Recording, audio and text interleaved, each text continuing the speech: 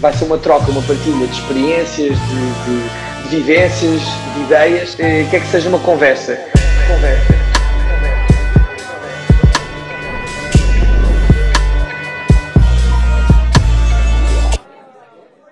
Como é que estás, Gonçalo? Estou bem. E tu? Como é que estás? Também estou bem. Boa. Eh, obrigado por teres vindo, Obrigado por fazeres parte aqui da, do, do grande momento que é este, para mim, primeiro Uhum. episódio. Pá, vou começar por te contar uma história muito engraçada, que não tem assim tanta piada, eh, que foi o que eu fui fazer na sexta-feira. Como sabes, eu trabalho, não é? Uhum. Tenho um emprego, Uhum. das 9 às 6, Uhum. e fui fazer um team building. eh, era um team building. Uhum. Sexta-feira, frio, vento, chuva. Fomos andar de hippo trip. Sabes o que é que é? Aquela, aqueles anfíbios, anfíbios Sim, sim, que sim, andam sim, sim, sim, no sim. Tejo e Sim. na cidade. E, pá, aquilo turístico não recomendo. e fiquei, fiquei doente, pá. Sábado, garganta a arranhar. Domingo, meio que dores no corpo, então tive que tomar uns SOS. Portanto, estou a fazer o meu primeiro episódio do podcast com uma voz que não é minha. Doente, Tá tudo certo. Está tudo certo. E pronto, como é que tu estás? Estou bem, estou muito fixe, estou fixe. O que é bem. que tu fizeste hoje? Olha, tive uma reunião, sabe? Eu sou do Porto, né? por isso estou em Lisboa. Tive uma reunião na minha, na minha agência e, e agora estou cá. Foi muito tranquilo. E como é que foi o aniversário da, da Magui? Foi, foi muito divertido. Não tens Foi nada para contar que divertido. possas contar? Nada, foi divertido. Foi, Foi só divertido. Sim, foi giro. A Maggie é super amiga, por isso foi um jantar, foi um jantar de, entre amigos e de conversa entre amigos. Foi, foi um dos eventos Foi, aí sa- sim, que sim. bombou na- nas As redes. redes. yeah. Muito bem. Olha, eh, queria começar por um sítio que para mim é, acho sempre, acho sempre imensa piada, que é o facto de seres o rei do croquete. Sabes que muito pouca gente sabe disso, então eu acho que público há muito pouca gente que sabe. Pá, já falaste isto em alguns sítios, Uhum. mas eh, acho, acho interessante pelo facto de tu seres uma pessoa tão, pá, tão terra a terra, tendo em conta eh, a exposição que tens. E o rei do croquete não é porque tu vais a eventos e vais comer rissóis e, e croquetes, Sim. mas sim porque, pá, sempre falaste abertamente que os teus pais Sim, têm sim. Uma, uma empresa de confecção alimentar Uhum. E que o teu presente de 18 anos eh, foi eles abrirem a tua uma empresa. Sim, sim, eu acho que é importante. Eu, eu, gosto, eu gosto muito, muito, muito de ir à casa dos meus pais todos os dias, porque me dão este lado de terra, de família, sabes? E, e é isto, não me deixam sonhar demasiado. É importante sonhar, mas com os, com os pés na terra. E ir à empresa dos meus pais traz-me essa, essa realidade. É um- uma realidade que é a nossa realidade, que é a minha realidade também, apesar da marca e do Instagram e tudo aquilo que eu faço. A empresa dos meus pais é também a minha realidade e é importante para mim também, por isso faz-me faz falta ir lá todos os dias. Tu vais lá três vezes Vou, por semana vou ou lá, vais todos vou lá dias? todos os dias. Agora vou lá todos os dias. Quando sempre posso, há semanas que não vou tanto. Na altura da moda Lisboa é sempre mais difícil porque estou com muito trabalho no escritório e a empresa não é no Porto, ou seja, eu tenho que me deslocar. Mas hum, é importante eu, eu ir lá o máximo, o máximo de tempo, de tempo possível, até porque é uma empresa da família e, e- e eu serei o futuro da, da- daquela empresa. Hum, por isso faz todo o sentido que eu saiba o máximo possível e que eu absorva o máximo possível daquilo. Mas tu com tanto trabalho na, na Gonçalo Peixoto, tu consegues, tu tens algum papel ativo na empresa dos teus pais? Já Ou- tive, já tive. Assim que saí da faculdade, eu tinha um papel ativo na empresa, ah, porque eu a marca na altura não, não dava dinheiro e eu queria ganhar dinheiro de alguma maneira, e então eu era empregado do meu pai. Ah, neste momento as coisas correm bem e, e há muito trabalho na marca e eu não consigo estar ah, na empresa dos meus pais ahm, com um papel ativo de trabalho, ou seja, eu vou lá. ahm, Vou buscar coisas, vou levar, deixar coisas, estou com os meus pais, ah, eu adoro conversar com eles. Mu- eu acho que muitas das, das- das decisões mais importantes foram reflexões nossas e conversas nossas em, em equipa e não, e não eu sozinho. Um, e por isso é importante para mim ir lá para isto mesmo, para, para conversar, para, para tomar decisões, coisa, dúvidas minhas. Eles, não há ninguém que, que me possa ajudar mais do que eles, por isso uh, vou lá todos os dias para isso. Sim, além de que eles também têm um, backtrack, não é? Um conhecimento. Claro, é isso, é isso. eh, Eu acho, e eu digo isto muitas vezes, que é, eu acho que este lado de empresa, esta noção de empresa que eu tenho, eu tenho-a porque eu vim disto. Esta era a conversa em casa, todos os dias. Isto era o meu assunto. Ah, os meus pais têm têm uma empresa e, ok, o que é que aconteceu isto? O que é que aconteceu hoje? O que é que fizemos aqui? O que é que fizemos ali? O que é que podemos melhorar? Quais são as dificuldades? E isto era a minha preocupação diária de- desde que me lembro. Ou seja, as conversas eram estas ao jantar em casa. Um, e eu acho que o sucesso da marca vem também porque há um lado no Gonçalo um bocadinho mais de empresário, sabes? Eu Uhum. acho que sou, eu já disse isto muitas vezes, eu acho que sou melhor empresário que melhor designer.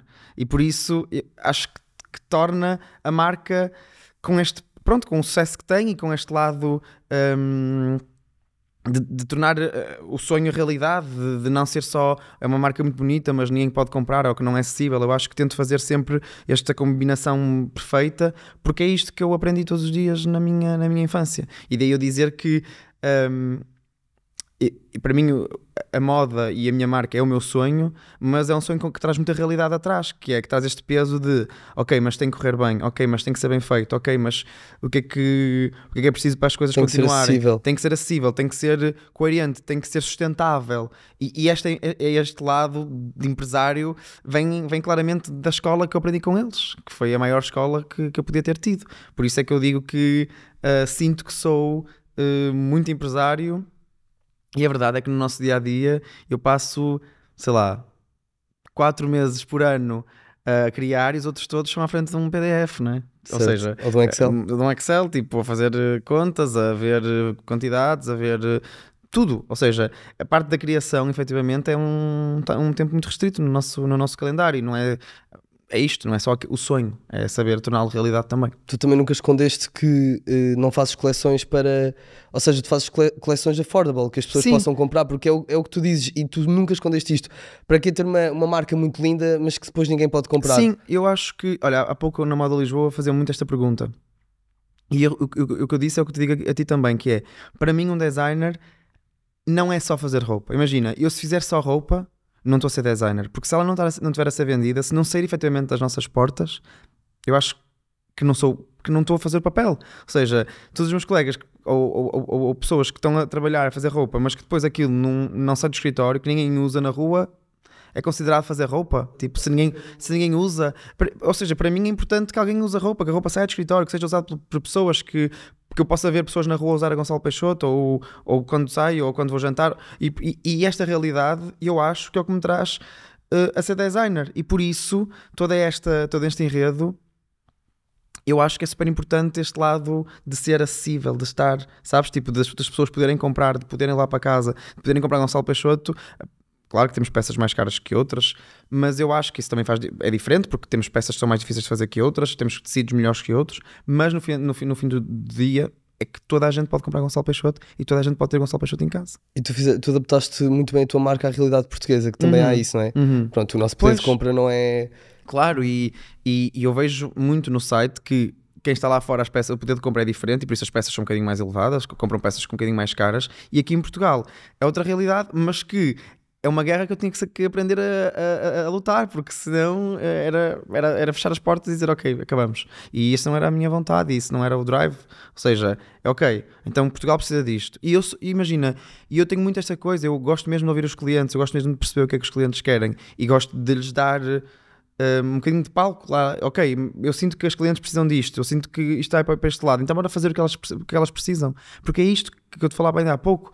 Eu acho que isto é o que nos torna designers. Eu acho que e é, é o que traz um bocadinho de humanidade à, à marca. Sei lá, se tu não tiveres uma relação com clientes, se tu não ouvis os clientes, se não perceberes o que é que eles querem, eu acho que andamos aqui todos a fazer um bocado. Eles são o teu principal ativo. Sim, é isso. É perceber, ok, as clientes precisam disto, então bora dar-lhes, sabes? Ou Então, oh, Gonçalo, eu, eu, eu precisava de um, de um- tipo de vestuário, um tipo de saia, um tipo de peça que eu não encontro lá nenhum.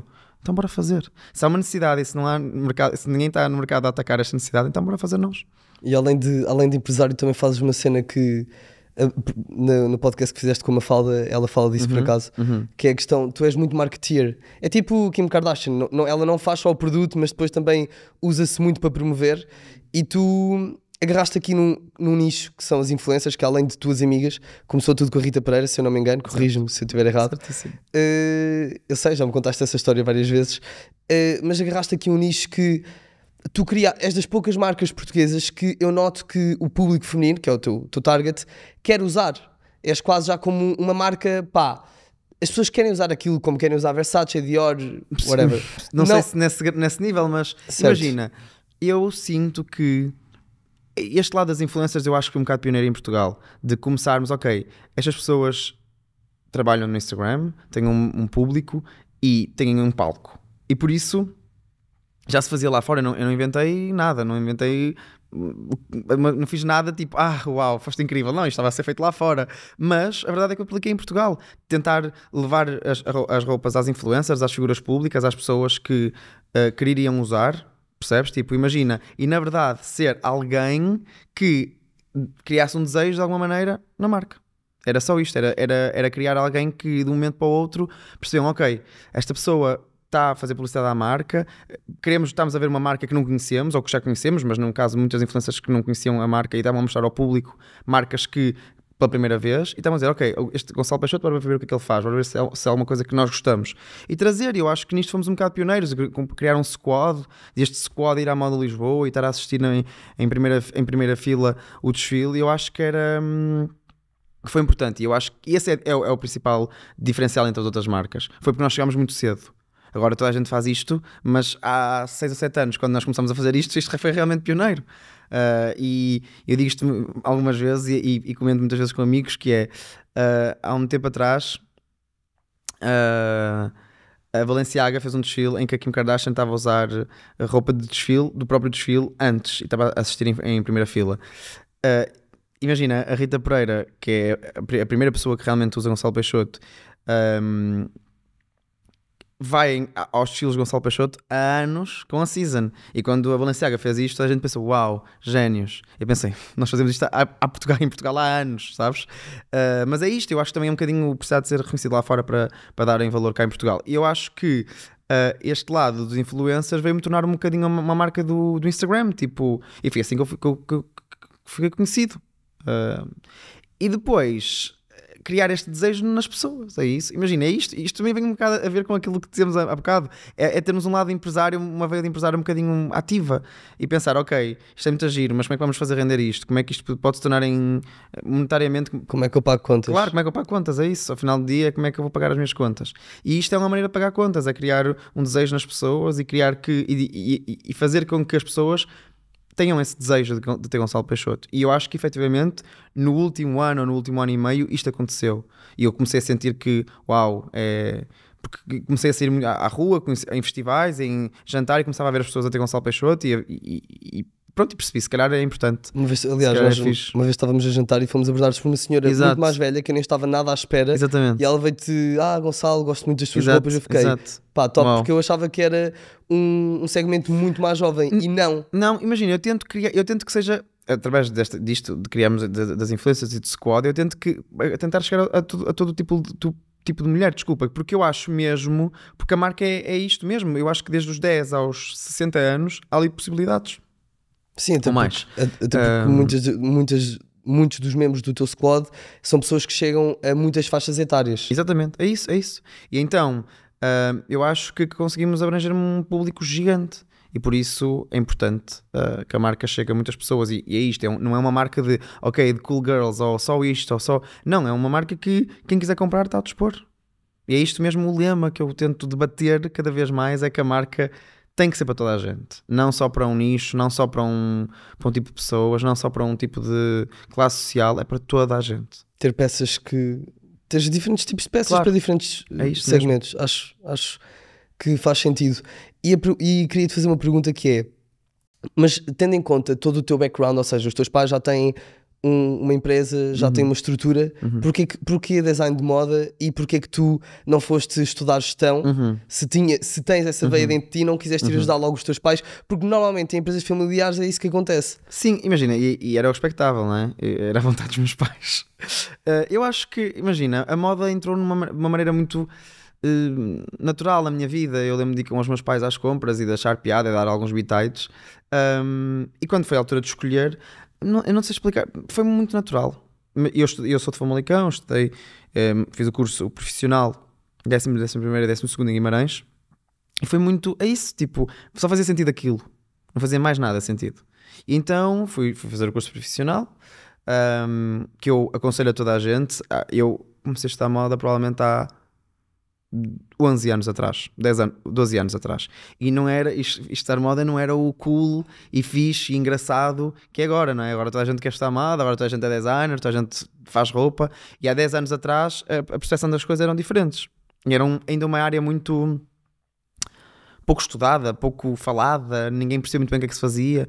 E então, era um curso profissional, que as pessoas têm sempre um preconceito de um curso profissional que é tipo, ah, mas quem. E, e, e de um momento para o outro foi tentar provar à minha família, ok, não, um curso profissional é fixe, é, aprendes imenso. E eu vou-te dizer, eu. digo isto a a muitas pessoas que me perguntam no Instagram que, é que, que, que escola é que devo escolher ou o que é que eu devo fazer, qual, qual é o teu percurso. Eu digo sempre isto: o curso profissional foi o que mais me preparou para o mercado de trabalho. Foi onde eu aprendi mais. Tu depois tiraste uma licenciatura na Depois fiz uma licenciatura em Matozinhos, ah, que eu gostei, mas ali tinha um lado um bocadinho mais de conceito, sabes? De criar o conceito, de criar uma identidade, de perceber e explorar aquilo que eu sou enquanto criador. Mas o curso profissional foi onde eu aprendi as ferramentas, tipo, ok, como é que se faz um molde? Como é que se costura? Tinha aulas de- duas vezes por semana de costura de manhã à noite, ou seja, toda ali uma, uma prática, que eu- mas que eu adorava, que eu queria ter, porque eu, para mandar eu queria saber fazer, eu queria aprender, eu queria perceber o que é que eu queria fazer, eu queria explorar, e, havia e, há e existem muitas áreas na moda, há, é? a confecção, a modelagem, toda, tudo, né? o desenho, e por isso eu queria aprender e perceber o que é que eu queria fazer. E, hum, e no curso profissional eu, eu tive essa realidade sinto que na faculdade eu consegui explorar mais aquele, o meu lado enquanto criador, o que é que eu queria fazer, mas ao mesmo tempo eu já tinha a marca também na faculdade. Ou seja, foi uma dor de cabeça Tu criaste a marca eh, no último ano da- do curso profissional. o curso profissional. Ou seja, eu entro no primeiro ano da faculdade já com uma marca, coitadinho, mas com alguma coisa que é que eu hoje chamo Gonçalo Peixoto, a marca. Ou seja, com este filho, este embrião, ah, que era realmente algo que era muito pequeno, né? mas que já era um bebê, ou seja, que eu já me dedicava, que eu já tinha que trabalhar, que eu já tinha que fazer coleções. Um, e por isso a faculdade foi importante e muito difícil para conseguir, conseguir conciliar as coisas. Ainda hoje digo que não, não faço ideia como é que consegui tirar aquela licenciatura, mas foi importante porque também me deu esse tempo de, é que eu te digo, de criar, então eu, eu conseguia ter este, este espaço para, ok, o que é que eu quero fazer? Ok, então agora vou aplicá-lo na marca. Sabes? Foi tudo muito. Imagina, o timing das coisas foi mesmo perfeito, foi mesmo que fiz. Comecei aqui, percebi o que é que eu quero fazer, agora vou passar uma licenciatura e, e a marca ao mesmo tempo, e é isto que eu quero fazer, é isto que eu gosto, então vamos aliar as coisas. O timing foi muito bom. E foi, não foi ao caso, eu acho que as coisas acontecem, por isso hum, foi-me posto no, no- no momento certo. Boa. E há poucas pessoas, eu gostava que tu falasses um bocadinho do, do que é que foi para ti tirar esse curso profissional, porque além de estares a querer provar algo à tua família, se calhar poucas pessoas sabem do esforço que tu fazias diário. Uhum. Tu uma vez contaste nessa história, eu acho que é Sim. interessante. Sim, imagina, é- era aquilo que eu te dizia, que eu não sei mesmo como é que consegui fazer esta licenciatura, porque às tantas eu sou, eu, era- eu sou muito focado e era um miúdo que, imagina, não faltava à escola, não era uma opção sequer para mim, e então era difícil porque às tantas eu tinha aulas das 8 às 5 ou às 8 às 6 e das 8 às 6 e das 6 às, às tantas fazia a marca, não é? Então às 6 horas, quando acabava o meu dia, eu, eu continuava a ter que ir às costureiras, continuava a ter que ir às fábricas, continuava a ter que ir arranjar tecidos, faltava, saía um bocadinho mais cedo das aulas para conseguir, porque depois as coisas fechavam ao mesmo tempo que fechavam a faculdade, então conseguir ir às lojas de tecidos, conseguir ir. Era, era- foi muito difícil. Imagina, era mesmo muita força de vontade e muita energia. Tinha 18 anos, queria era fazer, queria era fazer acontecer, queria que a marca crescesse. E então este foi o meu, minha- o meu modo de, ok, tipo drive, tipo, ok, eu quero muito isto, por isso bora, As coisas também custo. estavam a acontecer. Claro, é isso, a todo custo, as coisas iam acontecendo, é isso. Ah, eu estava no início ah, a aparecer em alguns sítios e A Rita Pereira aparece quando? a Rita Pereira aparece no último ano da- do curso profissional e eu lembro-me que no primeiro dia da faculdade eu era capa do Jornal Notícias com a Rita Pereira porque a Rita tinha feito, usado um look meu porque eu tinha feito nela nesse verão e nós éramos capa porque eu era, eu era menor nessa altura e então havia uma notícia do Jornal Notícias a dizer Gonçalo, a Rita Pereira apanha, apoia jovem estilista famalicense menor e, pronto, aí dá-se o, o boom. E, e pronto, era, era este conciliar, era ok, eu não posso deixar de fazer roupa para a Rita Pereira ou, ou para as minhas clientes. Um, Porque já começou a mexer. sim, que as coisas começavam a mexer, é isso. Às tantas, a Rita tem uma exposição muito grande, ou seja, as pessoas queriam comprar o que a Rita usava, queriam saber quem era esta pessoa, e por isso a Rita até aqui tem um papel eh, fundamental um, na marca até hoje. E que se vai Mas- tornar muito amigo. Sim, que se vai tornar depois, eh, com o tempo, muito, muito minha amiga, mas que no princípio foi um bocadinho. Eu, digo, eu digo sempre isto à Rita, que ela me, deve uma, que, que, que ela me de- deu-me uma carreira e que eu lhe devo muito, mas, mas porque eu senti mesmo que é verdade, porque ela apoiou ali uma pessoa coitadinha que não tinha, que tinha zero resultados, que tinha zero a mostrar, zero. um resultado feito e pronto, sabes? Uh, mas que ela acreditou e pensou, ok, se calhar esta pessoa tem, tem potencial, bora. Um, e é isto, a marca começa nesta altura e começam a acontecer as coisas e as, as, as, propostas a aparecer e os projetos e conciliar tudo isto com a faculdade. E que fazer na, na mesma os três, os três anos de faculdade, eu era um aluno, imagina, médio, tipo, eu era bom no design de moda, mas todas as outras disciplinas eu só queria, tipo, ok, quero acabar isto, tipo, quero, quero terminar. Uh, eu lembro perfeitamente que não tinha tempo, imagina, tinha uma professora de desenho que mandava 20 desenhos para casa e eu dizia-lhe, ok, quanto é que é para um 10? E ela diz: são 8 desenhos, ok, trago-te 9. Vão estar ok os 9 desenhos, mas não, eu não te vou entregar os 20. Porque, não, porque eu não conseguia, então eu tinha que, ter, que prioritar alguma coisa na minha vida. E a minha prioridade era a marca. Por isso, a dar prioridade àquilo, eu não conseguia fazer, ser um aluno excelente e que entregava os trabalhos todo a tempo. Não dava. E eu, na altura, nessa altura, comecei a vir também para Lisboa, porque muita dessa parte, eu agora não sinto isso. Uh, mas também tenho o meu lugar, não é? Mas muita da, minha, da, dessa, da parte do social, de, de, de de aparecer, de, de, estar presente, eh, eram em Lisboa, por isso eu tinha que ir para Lisboa, passava os fins de semana quase todos em Lisboa. Uh, então era, era difícil. Provas, uh, quando fazíamos looks para, para Red Carpet, eu tinha que ir a Lisboa fazer provas e só podia vir ao fim de semana porque não podia faltar às aulas. Então tudo isto era uma dor de cabeça e, e eu tinha muito pouco tempo para me dedicar à escola, à faculdade. Então era, ok, vou, vou focar, eu preciso passar estas disciplinas. Há disciplina, claro, de, de moda em si, bruta, eu acho que era bom, não, não acho que fosse o melhor, mas, mas acho que havia acho que há pessoas com muito talento, mas pronto, isto também é, imagina, como tudo na vida, são, são coisas que vão acontecendo na nossa vida e, e, e foi tentar esforçar-me o máximo possível. Ok, eu vou chegar lá com esforço, trabalho, dedicação e que se tiver que acontecer, acontece. Talento não é tudo, há uma frase que tu gostas muito, hard work beats talent, talent não é? Sim, digo, sim, porque eu acho mesmo que eu acho mesmo que é isso. Eu acho mesmo que é isso. E, mais uma vez, vou-te dizer, eu tenho muita gente no Instagram a dizer ah, mas eu sinto que não sou bom a desenhar, ou ah, eu acho que eu sinto que não sou bom nisto, ou tenho uma, uma fragilidade. Achas que devo desistir? Eu, dizia, eu digo sempre, imagina, se tu dedicares muito a trabalhar, eu acho sempre que os resultados têm que aparecer. Eu acho mesmo que isto é uma lei do, do retorno. E por isso, eu acho que dedicando a trabalhar, uh, podendo não ser o melhor da minha turma, o designer de moda, eu trabalhava tanto que as coisas tiveram que aparecer e foram os resultados foram aparecendo. Isso também, é, sim, mas há um tema que é o facto de tu seres bom na, na faculdade ou na escola, não, uhum. pá, sim, grandes, hoje, os hoje grandes, em dia, sim, claro, os grandes mentes de, de, que estão por trás das grandes empresas hoje em dia, muitos sim, deles sim. são dropouts. Uhum, tipo, claro, claro. A escola não é, na minha opinião, não é uh, um correlacional direto com uhum. o sucesso ou com o, bom, o quão bom consegue mas ser por isso é coisa. Que, é que vamos voltar a, imagina, está tudo ligado, não é? Óbvio. Por isso é que vamos voltar àquela primeira pergunta que é eu sentia que era melhor empresário do que designer e eu acho que, que foi um casamento perfeito dentro de mim. Ou seja, uhum. foi um casamento de, ok, uh, se eu tiver que dividir em 100%, posso ter 30% de designer, mas 70% de empresário, ou toda a porcentagem à sorte, mas porque é isto, eu acho mesmo que o casamento de ser um bom empresário, ou de achar que sou um bom empresário e um designer, este casamento eu acho que foi perfeito e eu acho que, este é, que essa é a chave do sucesso mais importante que ter só ideias ou a visão de um vestido claro. assim assado é fazer acontecer. Claro, é isso mesmo. E onde é que onde é que entra depois London Fashion Week? Porque tu, engraçado, entra... tu começas pela London, tu Lá antes fora. de expores em, em Lisboa, vais a Londres. Sim, entra nessa altura.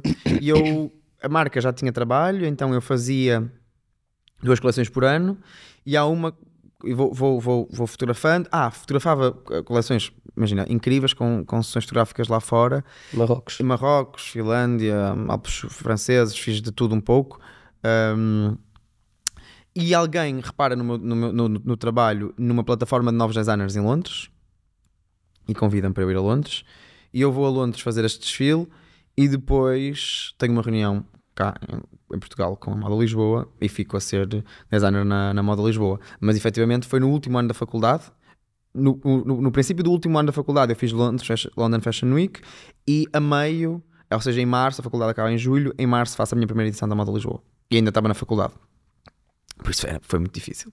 Imagina, criar uma coleção que, que envolve é, estes seis meses de preparação, que hoje eu digo só isto, eu dedicava à, à marca e à, à faculdade, ou seja, caótico. Com a pressão era, de ser a primeira. Com a pressão de ser a primeira, exato. Uh, que era, foi o fim do mundo. Isto foi em 2018, que foi o ano em que eu acabei a faculdade. Então, e diz-me uma coisa, para, para tu seres notado e, e, e receberes um convite para ir uhum. a Londres, o quão importante e impactante foi o investimento que tu tiveste que fazer em todas as campanhas que fizeste lá fora, Marrocos, Alpes. Sim, imagina, eu acho que eu queria que fosse bom, eu queria que tivesse um bom ar, eu queria que aquilo que as pessoas cá em Portugal perguntassem, mas quem é esta pessoa? O que é, porque, o que, o que, é, o que, é que está, o que é que ele está a fazer? Um, e eu acho que os cenários ajudavam, ajudaram-me a contar a história. Uh, as coleções eram inspiradas nessas, nessas viagens. Eu sabia onde é que eu queria ir para fotografar a coleção. Eu sabia que Marrocos, imagina, a, coleção, a, primeira, a minha primeira coleção em Marrocos, tudo começou numa viagem que eu fiz a Marrocos com amigos. Imagina, perceber Já que. fomos a Marrocos. Perceber, exatamente, perceber que, imagina, a coleção é inspirada na, na, na, na mulher, imagina, na mente da mulher, mas que ainda é, um, que ainda é um país muito machista, não é? Que as mulheres têm muito pouca liberdade, ou seja, a coleção é cheia de cordas, quase como presas de alguma maneira, uh, e por isso as, as cidades iam-me ajudar a contar esta história. E depois, e depois há exatamente este investimento que eu, penso, que eu queria, ok, esta vai ser a minha única maneira que eu, que eu, que eu vou conseguir ser noticed em Portugal, estás a ver? Tipo, ninguém vai, conseguir, ninguém vai saber quem é o Gonçalo se o Gonçalo não chegar e pensar assim, uau, quem é este chaval, o que é que ele está a fazer? E aí isto mesmo que eu tentei fazer, foi mostrar aquilo que eu sabia fazer para depois em Portugal a ser notado. E eu lembro-me que nesse ano nós ganhamos, uh, já não lembro onde, mas nós, em revista em, em, específico, mas, uh, mas as revista, uma revista fez uma notícia sobre as melhores campanhas deste, deste desta coleção de primavera-verão e a nossa era a primeira. E pensei, fixe, estamos a fazer alguma coisa em condições. E pronto, isto começou a rolar assim, sabes? Eram poucos, eram, eram, eram detalhes muito pequeninos, mas que fomos crescendo e fomos ganhar o nosso espaço. Mas imagina, para, para um miúdo que esteja, um miúdo ou miúda que esteja a começar uhum. agora, uhum. Uh, e acho que isto é importante falar, uhum. pá, tu, tens, tu tens, tens uma rede, não é? Tens uma uhum. rede, uhum. uns pais que te ajudaram e que uhum. se calhar fizeram um investimento inicial. E isso ajudou-te a catapultar, ajudou-te a dar o passo claro. seguinte. Tu achas que é essencial ou, ou dá para fazer sem? Eu acho que imagina, eu acho que dá para fazer 100. Eu, imagina, hoje eu não faço já essas campanhas, porque eu acho que já não compensa neste momento. Eu acho que neste momento o que compensa é o digital.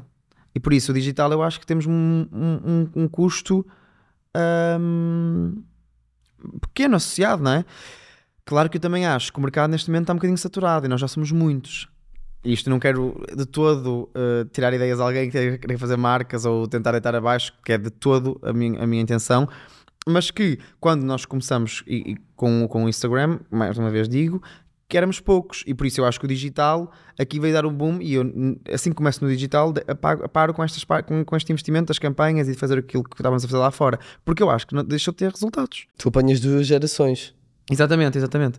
E por isso eu acho que nem quem está a começar agora eu acho que o que tem que focar é no digital. Porque é isto que nos faz vender neste momento Todas as marcas, imagina, todas as marcas têm, têm, têm, estão presentes no digital. E se o Instagram é o que está a bater mais agora, é o que está a dar mais likes, está a jantar no Instagram.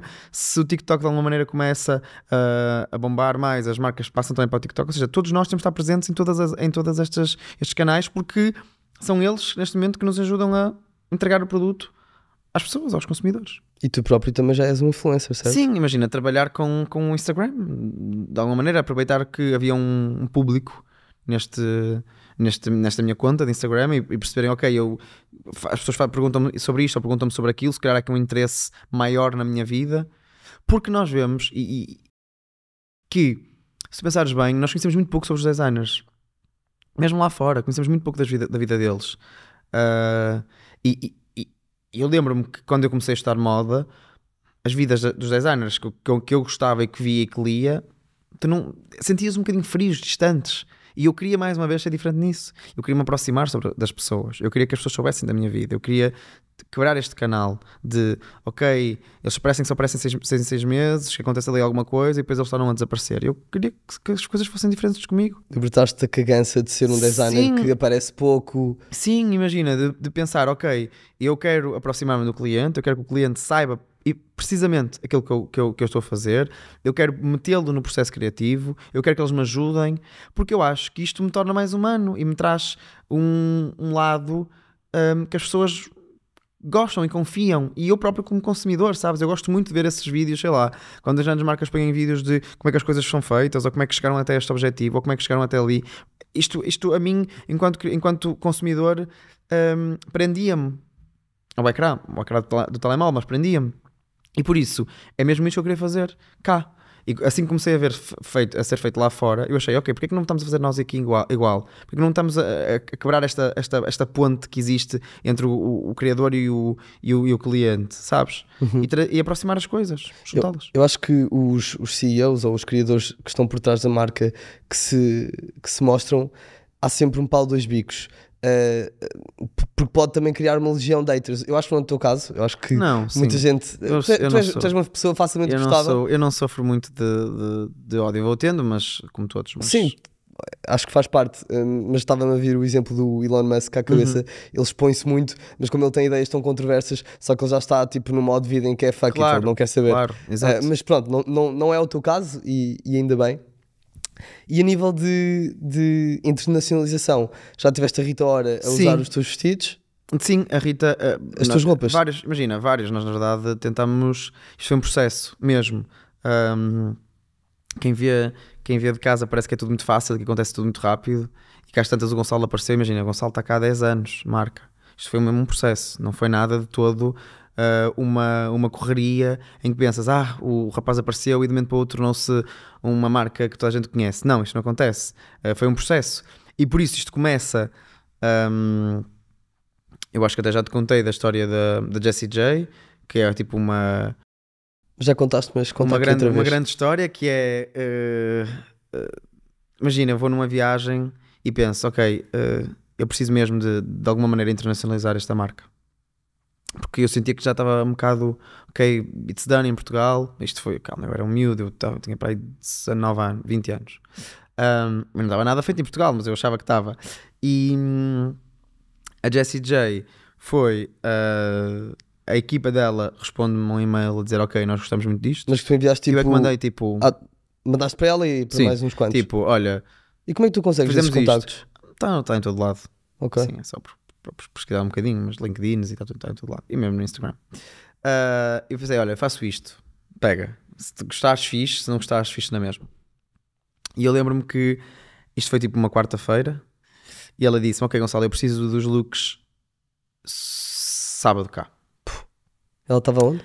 em Londres. Ela- ela é Ah, britânica. É assim.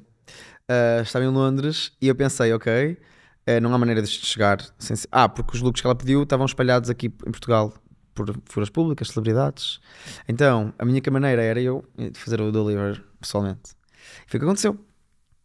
Apanhei um, um voo para, para Lisboa, Não, mas. Ah, Para. Lisboa? Vieste a Lisboa buscar os looks os primeiro. looks todos, fiz a recolha destes looks todos. Mas isto, imagina, tipo, ao meio-dia de uma quarta-feira e eu acho que há uma quinta-feira de manhã a bazar. Tipo, tipo bora, bora, bora dizer o que é que a vida nos tem para dar. Eh, vinha a Lisboa, recolhi os, os looks. Uma sexta-feira, o meu voo era para Londres, uma sexta-feira daqui, eh, uma sexta-feira à noite. Eu consegui recolher tudo. eh, porque pessoas, imagina, havia pessoas a gravar fora, havia pessoas que não estavam em casa. Eu tive que recolher tudo. Ahm, fui para Londres. Uh, cheguei a Londres, eu lembro perfeitamente que cheguei a Londres e faltavam tipo 5 minutos para, para fechar. Aterrei e ao chegar à cidade faltavam tipo 5 minutos para fechar tudo e eu não tinha nada que, como entregar o look. Sabes? Tipo, imagina, vou entregar como? Mas fechava não- tudo tipo. Tipo, mas- qual- centros comerciais. E qual era o ponto de O- recolha? o- do... o- não, eu ia entregar aquilo no hotel onde, onde estava a stylist da Jessie J. Uh, e eu não tinha como entregar, imagina, eu tinha levado as coisas embrulhadas numa- na minha mala. Ah, tu querias Mas, fazer tipo, tipo, um, um rap. Um- uma- Sim, alguma coisa, não ia entregar aquilo, tipo, num- num- nunca vi, tipo, pega, tinha que ser alguma coisa bonitinha. Eu pensei, como é que eu vou fazer isto? Então, ah, estava tudo a fechar e eu não tinha uma- ainda uma caixa, que agora as caixas são super eh, emblemáticas da marca, mas isto não acontecia, não tinha um saco de Gonçalo Peixoto, eu era, estava a começar. Ah, Imagina, lembro-me que há 5 minutos antes do shopping fechar, lembrei-me que entrei num shopping e no departamento das malas de viagem havia tipo porta-fatos à venda. E eu também não queria um porta-fatos tipo ranhoso, que é uma coisa bonita. Uh, comprei um porta-fatos, lembrei-me, ok, estou safo. Tipo, um minuto antes de fech- o shopping fechar, a senhora tinha a, conta a- a caixa fechada, abri uma caixa, tipo, toda uma, uma panóplia. Começou no Porto, vim para Lisboa, não estavam os looks. Cheguei a Londres, ok, consegui um porta-fatos um minuto antes do shopping fechar. Fiz, ok, tenho um porta-fatos. Deal. Recebo um e-mail dela a dizer: Olha, eu já fiz check-out do hotel, eh, mas deixa as coisas lá que eu vou buscar. Eu disse: Ok, tranquilo. Cheguei ao hotel no dia seguinte para fazer o- a entrega e eles dizem: Olha, ela fez check-out, hum, pá, nós não podemos guardar as coisas. Não dá. ok, há uma- ali uma zona de cacifos, vai à zona de cacifos, isto o concierge a dizer-me, olha, vai à zona de cacifos, tenta falar com eles. Te expliquei a história toda a vez toda. Imagina, miúdo. Ok, eu vim, de- eu vim, inglês. Eu vim de Portugal, eu estou a falar com a Sally essa Jessie J, tipo, tipo, ninguém quer saber da tua história. E ela diz, olha, nos cacifos não vamos deixar mesmo, tipo, não dá, tens que ir outra vez ao concierge. E eles têm que deixar, deixar lá. Sim, não faz sentido. Cheguei ao concierge, estava outra pessoa. Tive que tornar a contar a história outra vez. Pela terceira vez. Olá, meu nome é Gonçalo Peixoto, vim de Londres. nananana. E ela diz-me, ok, eu guardo isto, mas ela tem que ir buscar isto amanhã. E por acaso, eu tinha um amigo meu em Londres. Ahm, fotógrafo tinha um amigo meu em Londres. Fomos jantar com ele e expliquei-lhe, olha, isto aconteceu, deixei o look, pronto. Eu volto a Portugal e o look, nunca ninguém vai levantar aqueles looks. Nunca ninguém. E mandei um WhatsApp, eu tinha o WhatsApp da stylist a dizer, olha, eu entreguei as coisas, a ligar-lhe, ninguém me atendeu, nunca ninguém me respondeu. E pronto. Voltei para trás, voltei para casa. Mas tu foste buscar os looks? Não fui buscar, porque eu achei que eu, o meu voo era, era logo no, outro dia a seguir de manhã um, e achei que ela poderia ainda ir buscar e depois pedi este meu amigo que estava em Londres para nos trazer, passado duas ou três semanas. Ah, então eles E eu vieram. recuperei os ok, looks, ok, sim. boa. Uh, mas pronto, imagina, fiquei três ou quatro dias em casa a chorar, a pensar, tipo, imagina, eu era um miúdo, né, cheio de sonhos, achar que ia acontecer à primeira e, e não aconteceu. Pronto.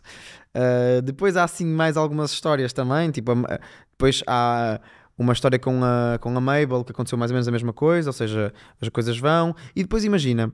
O que temos que perceber quando estamos a falar de uma internacionalização é que estas figuras públicas lá fora têm muitas exigências, primeiro. E depois, quando há um evento, há um, um rack de roupa, não é? Um charro de roupa com 50 peças. centenas de, de opções para elas. Ou seja, o teu look ficar selecionado entre 50 peças é, é isso, é um, um em 50.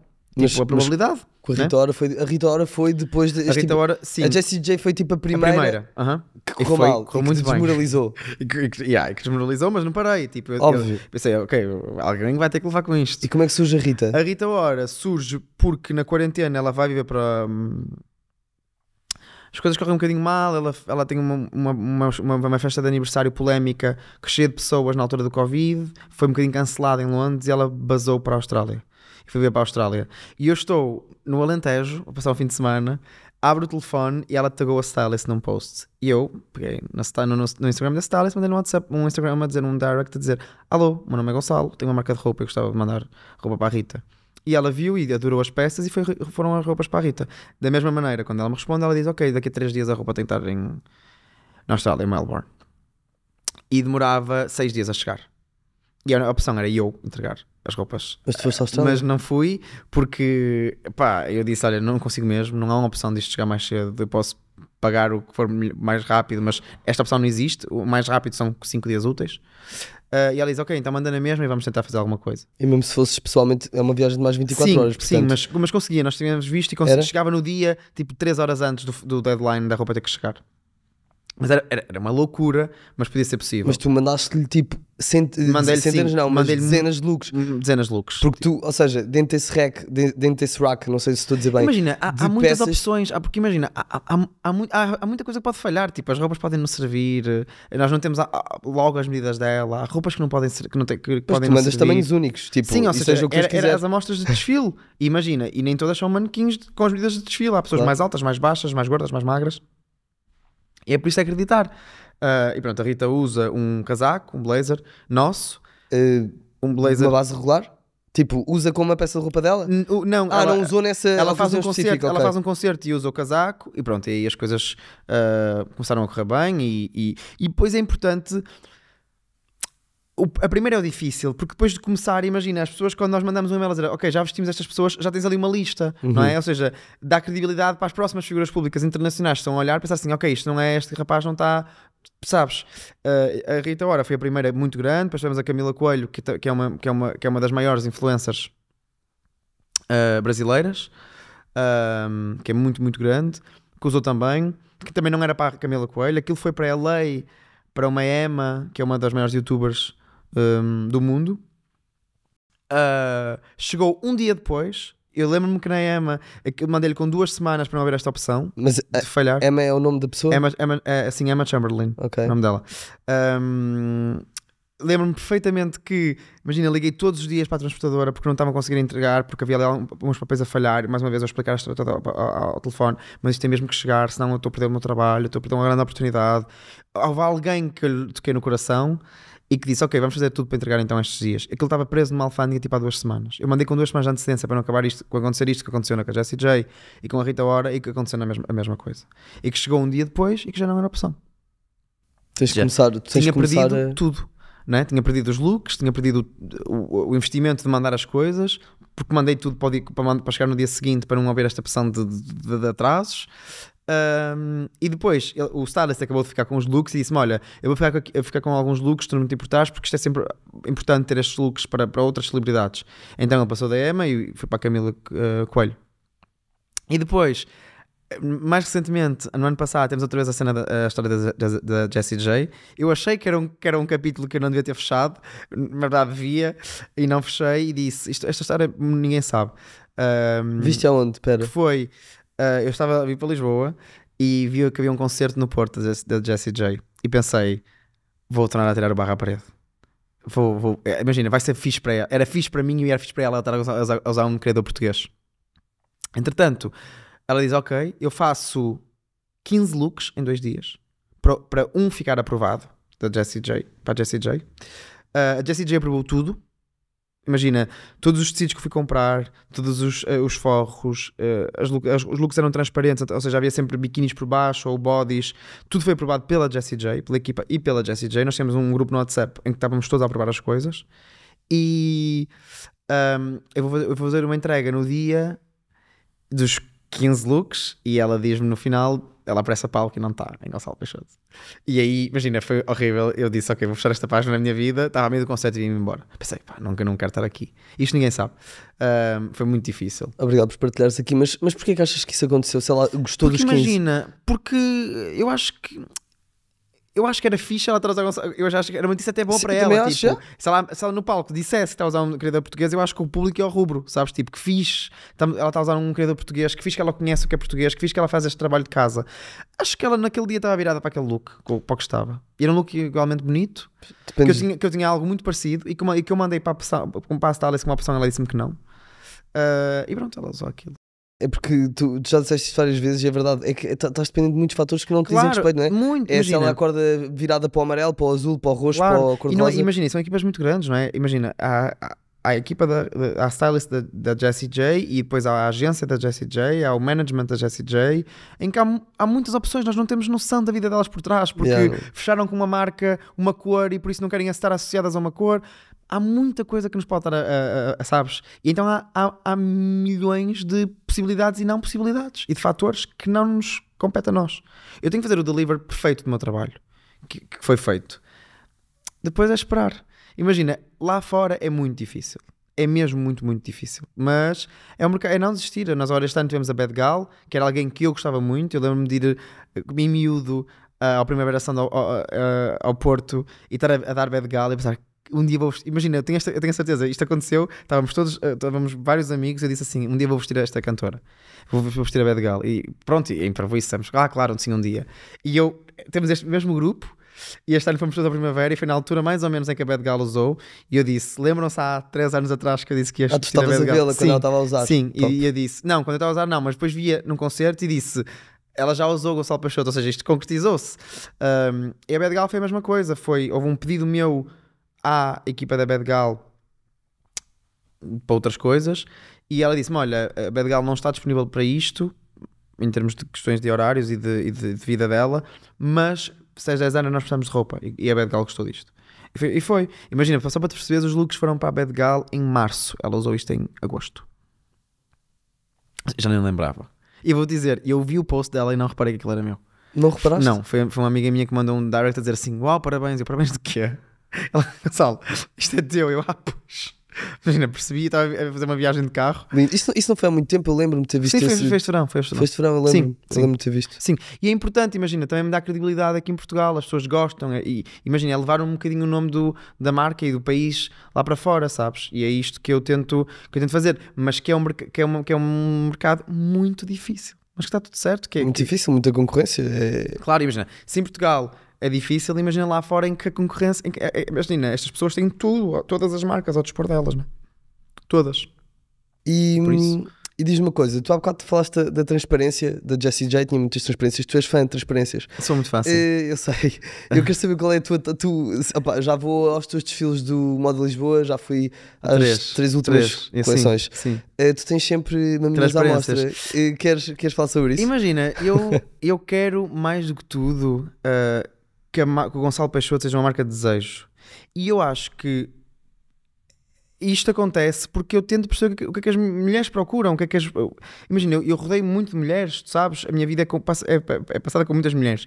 E eu gosto de perceber o que é que, é elas, o que é que elas sentem. E eu acho que eh, a parte disto, de eu querer perceber o que é que elas gostam, o que é que elas procuram, eu quero, eu, eu quero que a mulher seja sempre que se sente muito eh, poderosa ao ao Gonçalo Peixoto. E quando nasce a frase, Sometimes I Just Wanna Kiss Girls, que é o, não é, o lema da marca, nasce num jantar de amigos, de amigas, em que há uma conversa em que todas dizem: opá, estamos fartas dos nossos namorados, pá, os homens não valem nada, tipo ali a- a- aos homens. E eu pensei. E uma, de- uma delas diz em português: Sometimes I just wanna kiss girls. Tipo, opá, curtia, adorava, era gostar de raparigas. E eu apontei isto, tipo, eu passei isto para inglês no telefone e fiquei, ficou ali. E há um dia em que, pá, porque que não criamos tipo um slogan ou uma frase? Sabes, eu acho que não existe. Hum, eu, eu acho que tu não, tu não, não consegues criar. Eu, eu can't create a fenómeno. Tipo, imagina, se tu chegasse.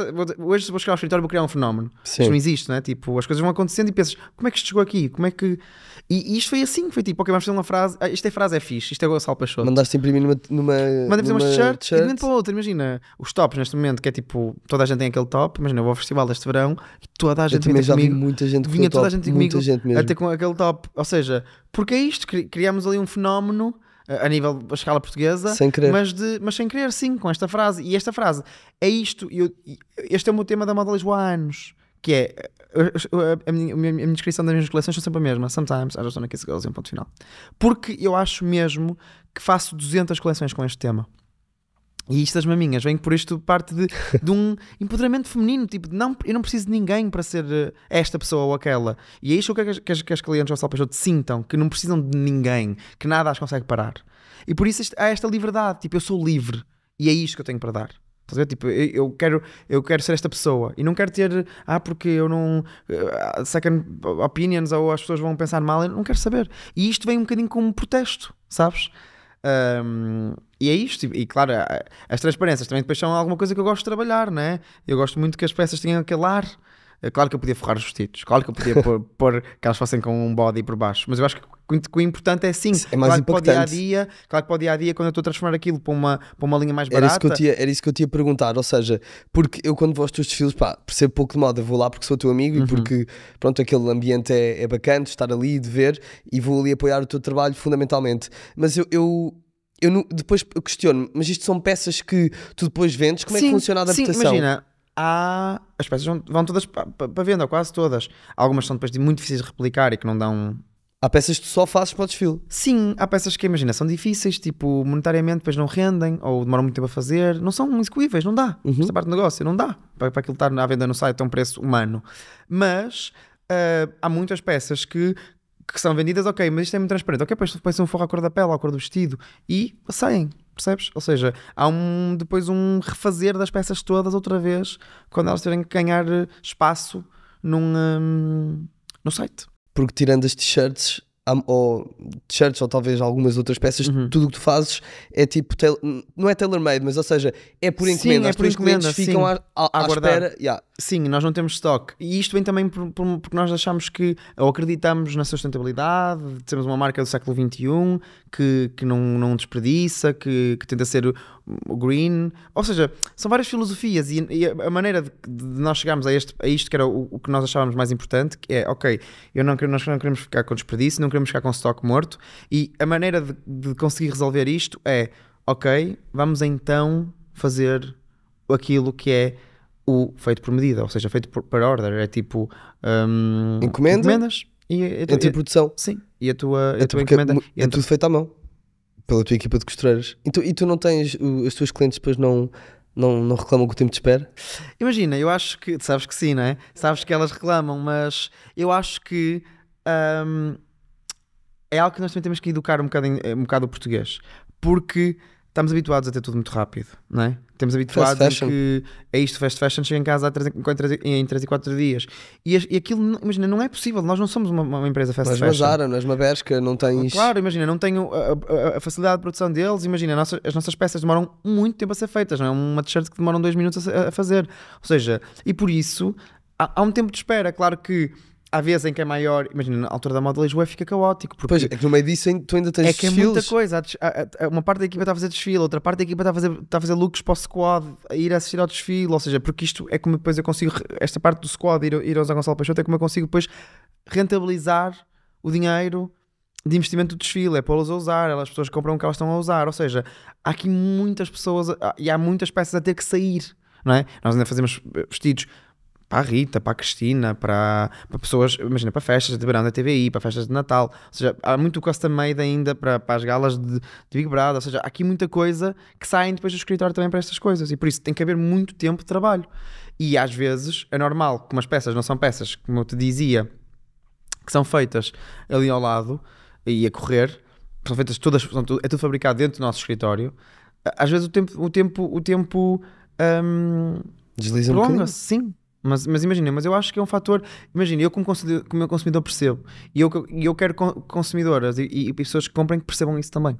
Eu acho que é só um bocadinho frustrante porque há pessoas que querem muito comprar uma peça tua e às vezes estão a fazê-lo para um evento muito específico. sim. Ou um casamento, ou um Mas batizado, nós, nisso, não somos interessa. super, mas nós somos super eh, moldáveis nisso mesmo. Nós, alguém que precisa para um, para um tempo específico, nós fazemos esse deliver sempre a tempo. Ah, imagina, há muitos vestidos que nós entramos sempre em contacto com os clientes para termos a certeza que os vestidos ficam bem, precisamos de medidas. E então nós Top. mandamos, ou seja, há- há- há- um dos nossos best-sellers é sempre feito com as medidas das clientes.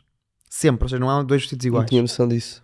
Percebes? E, Ou seja, isto não dá para fazer em Sim, máquina. mas isso, enquanto, eu, enquanto cliente, também valorizo isso. Eu não me importo Claro, esperar por uma claro. coisa feita Agora, à minha medida. Eu, eu não, eu não tenho um vídeo a explicar isto no- na entrada no site. Claro, nem Percebes? faz sentido. Por isso elas não sabem isto, não é?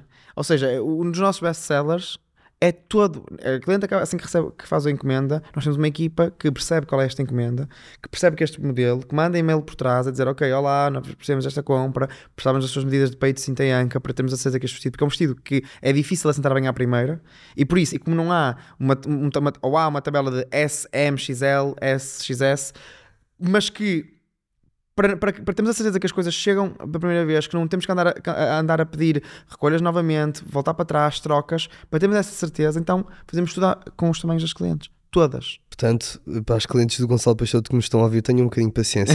Vão receber uma peça Por favor. à medida. Por favor. Sim, mas eu acho que nós é isso. Nós também, eu acho que faz parte de, de educação, de, de educarmos também o, o cliente. de Pensarmos, ok, eh, elas estão habituadas a isto e temos que lhes mostrar que na, na marca as coisas não são assim, que são feitas especi- especificamente porque nestas marcas em que elas esperam há um stock e, feito, e não foi feito a pensar nela. Não foi feito a pensar na Ana que comprou aquele vestido. Sim, sim. Foi feito a pensar num, num, num público e que, ok, ali não, aquele vestido vai com as, com as medidas da Ana. e não esquecer que está a ser feita à mão.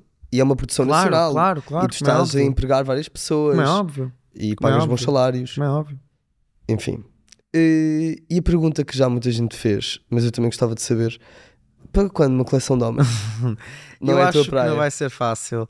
Eu acho que esse, que esse trunfo está guardado para um dia, mas está, está guardado. Imagina, eu tenho esta noção. Já, há- já há homens a usar tua t-shirt. Há, há- há homens a usar o t-shirt, eu, tenho, eu faço sempre camisas e trench coats nos na- no, no desfile, por isso há, há vários homens a usar um, essas, essas peças, que tenho várias peças unissexo.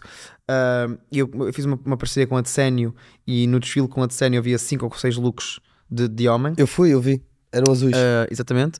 Mas uma coleção Gonçalo Peixoto para o homem um, ainda, não é uma, ainda não é a altura certa. Por vários motivos. Imagina, não tenho só um motivo. Tenho porque não apetece, porque não é, o que, não é aquilo que me que me cativa e que me dá vontade, porque eu gosto muito mais do corpo feminino, tipo, para criar. Eh, Eu acho que podemos ser muito mais criativos no- n- a fazer mulher que fazer homem. E por isso, e, e contra mim, ouve, contra mim falo. Eu, eu, eu, eu, eu sinto muita dificuldade a comprar roupa. E por isso eu acho que se tivesse roupa, roupa ia ser uma- um, um, um- tirar um peso de cima, sabes? Mas ao mesmo tempo aquilo não é o que me, o que me excita, não, é vontade, não tenho vontade. Claro. E por isso, enquanto eu costumo dizer, enquanto a mulher Gonçalo Peixoto não se puder vestir dos pés à cabeça em Gonçalo Peixoto, e quando eu digo dos pés à cabeça, digo sapatos, malas, acessórios, óculos de sol, eh, roupa, roupa interior, enquanto isto não tiver tudo, tudo explorado, eu não começo a explorar um, um sexo Ah, então temos aí, temos, Temos- estás, estás aqui É a levantar a, Assim, imagina. o pano para muitas Sim, coisas é que tentarmos fazer isto uma maison, uma casa que, ok, eu consigo chegar a Gonçalo Peixoto e, e ser Gonçalo Peixoto da cabeça aos pés. E, e, e, e, só, e só quando eu achar que sou muito bom em tudo, muito bom fazer sapatos, muito bom fazer malas, ou seja, com um terreno eh, palpável em todas elas, e que eu penso, ok, agora vamos começar a fazer homem. Porque há muito tempo, não é? Então, se eu começar a fazer já tudo, eu sinto que, que também me vou acabar por desmotivar. E eu não quero que isto aconteça, não é? Claro. E, e tu já foste batendo muitas etapas, ou seja, eh, ter, ter celebridades portuguesas e não só a usar a tua marca. Parceria com uma grande marca portuguesa, também já está. exatamente. Agora, pá, são Sim, é- passos. é passos. Imagina, eu tenho, eu tenho todos os X anos os sapatos, os, os sapatos da- da- do desfile são Gonçalo Peixoto. Ou seja, são só Gonçalo Tu já Peixoto. fazes sapatos? Sim, sim, todos os desfiles. Ah, Mas pá, só é- para os desfiles. Ou Sim. tu já vendes? Sim, sim, eles, eles depois aparecem em, em, em pop-up no site para venda durante algum tempo. Sim. Ok.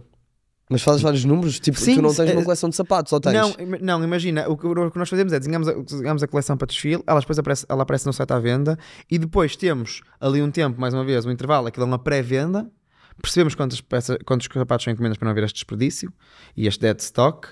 Ahm, as pessoas sabem e está lá um aviso a dizer, ok, agora a partir daqui temos 15 dias úteis para a produção destes sapatos, porque eles não, não estão produzidos, eles não existem ainda, e depois são produzidos e entregues. Muito bem. Sim, por isso sapatos também já existem. E malas também já tivemos. E óculos de sol também temos. Ou seja, é começar cada vez mais a criar este universo com o Sal Peixoto, sabes? Ah, e quando ele tiver solidificado, eu penso, ok. E eu, eu costumo dizer isto na brincadeira à, à- à minha equipa, de, ao management e à Notable, que é a minha agência, que é quando ninguém quiser saber de Gonçalo Peixoto, quando uh, Gonçalo Peixoto estiver a morrer, eu lanço o homem. E assim tentamos tornar a, a- isto é uma brincadeira, então de brincadeira, mas é tipo, o homem vai, vai ser um trunfo de ti, ok, a carreira, a carreira acabou. O que é que podemos fazer agora para ressuscitá-la? Ok, isto. E pronto, eu acho que está guardado para esse momento. Boa. Sabes que eu, eu o Carlitos e o David, Uhum. No desfile, Nossos ah, amigos. sim, os nossos amigos, Uhum. ah, quando fomos ver, eu tive uma ideia no jantar. Ah, já, já soube dessa Já ideia. soube esta ideia? Sim, já me contaram essa ideia. Epá, só que depois. Acharam achar- que eu ia achar, que não ia achar piada. Yeah. Não, mas imagina, eu estava-lhes a dizer, pelo contrário. Mas espera, deixa, deixa dizer qual é a ideia. Eu, eu sei, eu sei, a frase. Ah, diz. Sim. Nós íamos, íamos mandar fazer uma t-shirt com a tua frase. Sometimes I sim, just wanna sim, kiss sim, girls. sim, sim, sim. Eh, só que não, tínhamos. Pá, o lettering poderia não ficar igual. E, eh, Sim, mas imagina, eles, eles contaram-me isto depois do desfile. Ah, e eu disse-lhes, mas então porquê que não fizeram? E eles, ah, porque achávamos. Eu disse, mas vocês perderam a cabeça comigo. Tipo, eu ia adorar, eu achava super piada. Tipo, imagina, eu disse, por favor, façam isso para a próxima, porque eu ia gostar, nós íamos apropriar-nos da marca. gostar. Sim, mas imagina, eu acho que isto. Mais uma vez, eu, eu digo se isto não for rolado entre as pessoas, tipo, se isto não aparecer, então não faz sentido, isto não é nada. Só faz sentido se isto aparecer e acontecer, não é? Muito bem. Hum, acho que nós já temos aqui uma bela de uma conversa. Sim, temos uma bela conversa. Uh, Quero-te pedir uma coisa, porque é, eu vou criar uma playlist aqui Ok. do podcast. Ok. E tu que és o primeiro tens uma pressão grande, que é... Isto foi uma discussão que eu tive com o Ivan. Diz uma coisa. Eu, na minha cabeça, quero pedir uma música por pessoa. Ou seja, por episódio tu dás uma música e a, a música não tem que ser tipo a grande escolha da tua vida. Pá, pode ser uma música que estejas a ouvir esta semana, pode ser uma música que signifique muito para ti na vida em geral, pode ser uma música que transmita o teu estado de espírito neste momento, pá, whatever. E eu lanço uma, também por episódio, que tenha a ver ou contigo ou com o dia em questão, não interessa, é uma música. E vamos eh, colocar na playlist. O que, e vai ser uma playlist eclética, não é? Porque eu vou ter aqui pessoas sentadas Claro, muito claro, diferentes e muito vai diferentes, ficar claro. aqui uma, giro, isso uma- é- isso é- um grande giro. remix. E, e o Ivan acha que dar a escolha de uma só música à pessoa é uma pressão muito grande. Mas eu Uhum. acho que tem a ver com o facto da pressão que colocamos nisto. O que é que tu achas? Queres escolher mais que uma música ou queres escolher só uma? E tu, tu vais ditar o futuro do, do- desta escolha para, o para os restantes convidados, portanto pensa bem. Imagina, Eu acho que se- o meu, o meu- o meu único medo é que se nós criarmos várias músicas, depois seja difícil para tu perceberes quem é quem é quem, não é? Exato. E acho que pode ser de, de várias músicas. Mas eu, neste momento, imagina, eu saber-te saber -te responder qual é a música, tipo, há três semanas atrás, Uhum. neste momento, eu tenho uma música, uma música que, por um momento da vida que eu estou a passar, neste momento, que queria adicionar, mas que não seria a música óbvia e que não vou adicionar. Se me perguntares que é uma se me disseres que é uma só música, eu vou dizer a, a- a de sempre, que é a Girls, da Rita Ora, que é aí que sai o Sometimes I Just Wanna Kiss Girls. Girls Rita Ora vai ser essa adicionada. E tu, e qual era a outra? Só para ficar registado. A outra chama-se uh, Nádia Sabe, do Bad Bunny. Nadie sabe. Eu tava- olha, estive a ouvir isso antes de ir para aqui. Estou viciado no álbum. A minha música, pá, pelo, por ser o primeiro episódio e por eh, claramente eu gostar de amarelo, é Amarillo, do J Balvin, J Balvin, que também está ali em baixo. Exato. o, um O Jay, boneco, pequenino. Funko. E pronto, estas vão ser as duas primeiras músicas adicionadas à playlist. E como última pergunta, tenho-te que perguntar: que é, pronto, hoje paraste aqui, nesta. em campanha, quero-te Uhum. perguntar qual é que é, o que é que o Gonçalo, o que é que nos reserva a próxima, a próxima paragem, o, qual é o teu próximo Olha, passo? já, agora, agora vou para o Porto. Ansioso de ir para casa. Uh, por isso também vou fazer uma grande viagem. Uh, imagina, o meu, pró- o meu próximo passo é. Isto é uma pergunta muito difícil para mim mesmo, mas é continuar a fazer o meu trabalho. Uh, esta parte da internacionalização é mesmo importante. Eu gostava mesmo de, de continuar a fazer e que as coisas acontecessem de uma maneira mais rápida. Mas é fazer aquilo que eu melhor sei, que é criar e, e- e começar já no próximo desfile e, e tentar fazer pessoas felizes. Uma pessoa que desfile. esteja assim, top of mind, tu gostasses de Ah, vestir. a Rihanna. Eu Rihanna. acho que ela é o fashion icon do século XXI. Vestires a Rihanna era tipo. Era incrível. Era, era. Era muito fixe, sim, Rihanna. Acho que tinhas que duplicar a tua equipa ou Rihanna, duplicar. Rihanna, Porque Rihanna. Gonçalo Peixoto Esta que era, era tipo. Eu acho mesmo que ela é o fashion icon do nosso século, por isso era incrível vesti-la. Ok. Gonçalo, muito obrigado. Muito obrigado eu pelo convite. Eh, gostei muito de conversar contigo. Espero que as pessoas lá em casa também gostem. Tinham gostado. Eh, espero que gostem, que tenham gostado, sim. E eu, como primeiro episódio, tenho que fazer aqui uns agradecimentos especiais eh, a toda a gente que me ajudou neste processo. Sabes que isto, é, aliás, tu sabes, porque foste das primeiras pessoas a quem eu contei o ano passado, quando tive a ideia de criar um podcast, que conceito é que eu vou fazer, que conceito é que não vou fazer, pronto. Isto tem vindo a ser um longo processo até chegar aqui, onde estamos hoje, não é? Já fiz três pilotos, dois deles, um em minha casa, outro no escritório da antiga empresa em que trabalhava, e o terceiro já com este set, em que tive a testar conceitos, o que é que eu queria fazer, o que é que eu não queria, pronto, a definir o, o caminho. Eh, pronto, muito investimento feito, muita coisa, e para isto ser lançado com a qualidade que eu queria, pronto, demorou, demorou um ano, mas eu não conseguia ter feito sem as pessoas que me ajudaram a desenvolver a marca em primeiro lugar. Eh, à Marta que me ilustrou, Marta Cardiga Dias, que é uma ilustradora minha amiga, à Sancha que me vetorizou logo, à Ana Macário que montou toda a marca como uma só e que permitiu fazer todas as coisas que os designers depois fazem. A nível do genérico, Rafa, muito obrigado. Eh, jingle ao Johnny, producer, eh, que me produziu o jingle ali numa sessão de estúdio muito fixe, que só me deu vontade de repetir outras sessões para estar ali a fazer uns, uns, uns raps. Eh, ao D-Miner que masterizou e que foi também um, uma vítima de um, de um episódio piloto, ao André Braga e ao Nico, que foram os outros dois episódios piloto. Nico, as melhoras, partiste o braço, espero que isso recupere rápido. E em último lugar, à Messia e ao Vinícius que me emprestam e cedem o estúdio para eu filmar, Pangera Studio, grande parceiro. E em último, em último dos ultíssimos lugares, ao Ivan que está ali por trás das câmaras a fazer com que isto seja Aconteça. aconteça e tenha a qualidade que tem. Malta, muito obrigado e até ao próximo episódio.